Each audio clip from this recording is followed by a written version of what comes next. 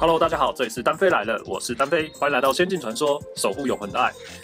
这期呢，我们来简单介绍一下关于十月十八的维护关机公告里面，除了这一次的重头戏新增英雄职业达纳托斯以外，接着大家所关注的改动就是冒险职业兑换券的新增获取途径。它里面写说，在冒险手册成就职业里面新增了魔剑士的终点。可以在使用指定的四转职业通关指定的勇士及以上难度的博物馆岛或迷踪岛的副本，即可换取冒险职业兑换券。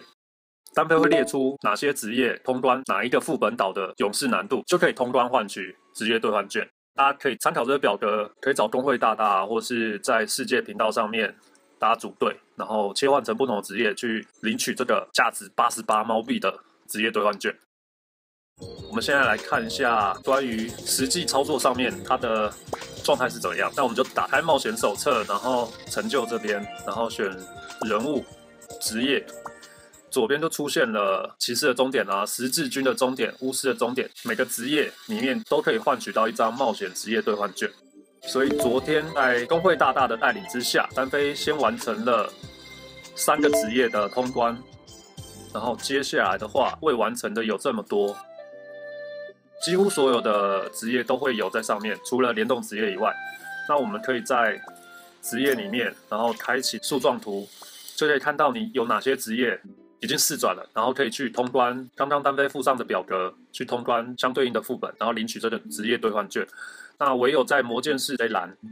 额外多出了新的英雄职业达纳托斯，这个已经破表了，破出表格之外。只要你有魔剑士这个职业，你就可以开通达纳托斯。那你拿到职业兑换券以后，你就可以去通关其他的职业。那每个职业通关四转以后，又可以再换取一个券。哇，你看还有这么多职业要练。那下一个英雄职业应该就是服饰下面这边，即将也要破出这个栏位了。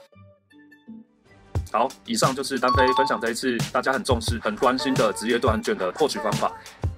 那如果喜欢单飞影片，请帮单飞点赞、订阅、分享出去，开启小铃铛。谢谢大家收看，我们下期见，大家拜拜。